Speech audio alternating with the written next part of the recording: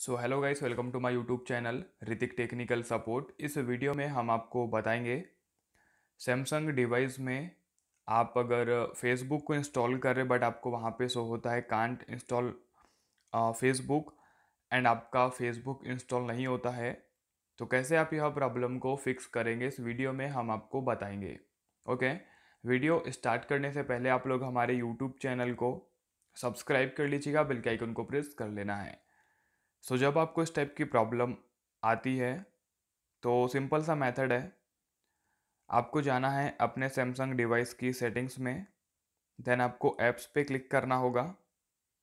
Search bar पे click करें and यहाँ पे आपको गूगल प्ले सर्विसेज़ एंड आपको गूगल प्ले स्टोर इन दोनों की ही आपको सर्च कर लेना है। ओके सिंपल आप इन पर क्लिक करेंगे देन आपको इनके स्टोरेज पे जाना है। और आपको सिंपल इनका डाटा क्लीन करना है। ठीक है? गूगल प्ले सर्विसेज़ एंड आपका गूगल प्ले स्टोर, इन दोनों का ही आपको डाटा क्लीन करना है।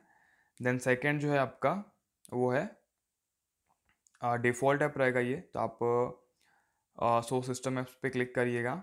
देन यहाँ पे आपको डाउनलोड सर्च करना होगा। तो आपको फ़र्स्ट में मिलेगा डाउनलोड मैनेजर एंड आपको सेकेंड में मिलेगा डाउनलोड्स।